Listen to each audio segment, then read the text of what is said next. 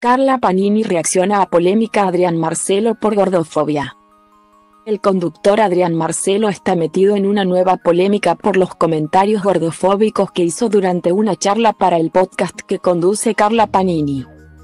Esto generó que algunos internautas pidieran cancelar al famoso, además surgieron críticas contra Carla. Por este escándalo, la integrante del dúo cómico Las Lavanderas compartió su reacción durante una transmisión en Instagram. En la grabación, Panini primero señaló que Adrián Marcelo tiene su forma muy particular de ser. Luego, la famosa se deslindó de lo que manifestó el presentador de televisión, vuelvo a decir, no soy responsable. Ni Ernestina ni la producción de mi podcast, de los comentarios que se hagan. Cada persona invitada expresa lo que quiere, nosotros no tenemos ningún filtro ni nada.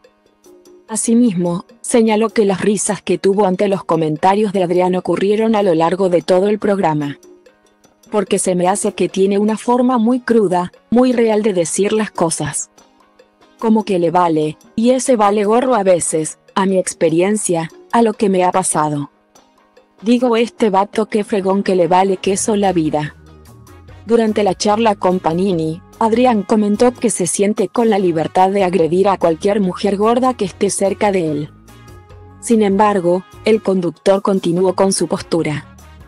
También criticó que las mujeres con sobrepeso aparezcan en portadas de revistas.